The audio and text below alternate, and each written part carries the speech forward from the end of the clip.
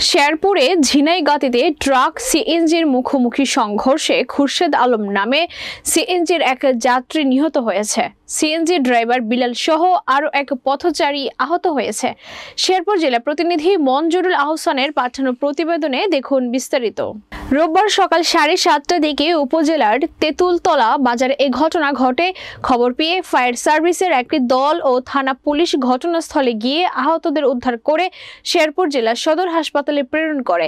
Police ও স্থানীয়রা জানায় পান ভর্তি ট্রাকটি ঝিনাইগাতি থেকে এবং যাত্রীবাহী সিএনজিটি শেরপুর থেকে আসার পথে তেঁতুলতলা বাজারে মুখোমুখি সংঘর্ষের ঘটনাস্থলে খুরশেদ আলমের মৃত্যু হয়। পরে পুলিশ ও ফায়ার সার্ভিসের লোকজন আহতদের উদ্ধার সহ ট্রাকের নিচে চাপা পড়া সিএনজিটি উদ্ধার করে। এই সময় ট্রাক ড্রাইভার ও হেল্পার পালিয়ে যায়। পুলিশ ঘাতক ট্রাকটিকে আটক করেছে।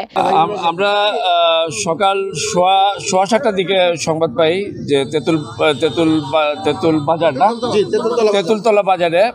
একটা পান পানবাহী ট্রাক একটা সিএনজিকে চাপা দিয়েছে সিএনজি অটো রিক্সাকে আমরা সাথে সাথে ঘটনাস্থলে পৌঁছি। পৌঁছে দেখতে পাই যে এখানে একটা লোক যে পথচারী ছিল তো উনি আহত অবস্থায় পড়ে আছে এবং সিএনজি ড্রাইভার যে তাকে আমরা উদ্ধার করে আমাদের গাড়ি যুগে আমরা সরপুর, শেরপুর সদর হাসপাতালে পাঠাই। আর সিএনজির একজন প্যাসেঞ্জার ছিলেন যিনি- আমরা এসে এখানে স্পট ডেড অবস্থায় পাই উনি বর্তমানে পুলিশের কাছে হেফাজতে আছেন।